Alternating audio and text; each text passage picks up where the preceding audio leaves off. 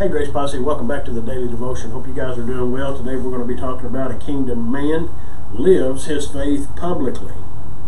Kurt Warner, in an interview with Focus on the Family uh, Breakaway magazine editor Jesse Florea in 2001, said, My encouragement is to be bold wherever and whenever. It's pretty amazing to see what God's been able to do just because I was obedient and started to take those little steps to step out. Kurt Warner came out of nowhere to shock the NFL in 1999. Undrafted out of college, Warner played in Arena Football League from 1995 to 1997. The St. Louis Rams signed him as a third string quarterback in 1998 when the Rams starting quarterback got injured in 1999, Warner became the starter.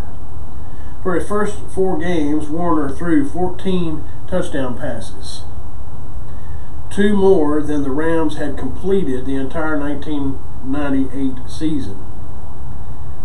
When reporters asked about the secret to his success, Warner answered, It's my faith in Jesus Christ. He led the Rams to a victory at the Super Bowl 34. Warner earned MVP honors, making him just the seventh player in, in, in football history to take home the, the, the league and Super Bowl MVP awards in the same year. During Warner's Arena League days, he told his wife that his faith was between him and God and nobody else needed to know.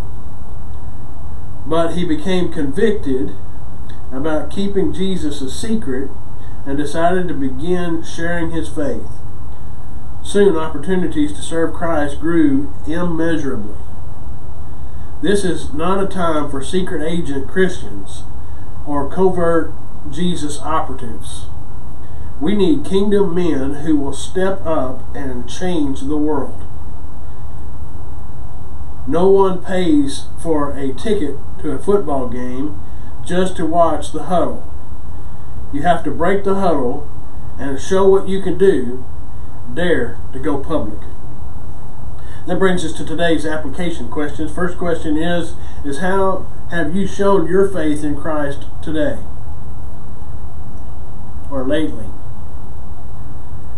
Number 2, 2 Corinthians 5.20 says, Kingdom men are ambassadors for Christ. How should you act as Christ's ambassador? And number three, what hindrances are keeping you from being more public with your faith? Let's go to the Lord in prayer. Our Heavenly Father, Lord, we thank you for this day. Thank you for your many blessings. Father, we ask that you help us to break the huddle and go public for you. It's in Jesus' name we pray. Amen. God bless you guys, and I'll see you next time.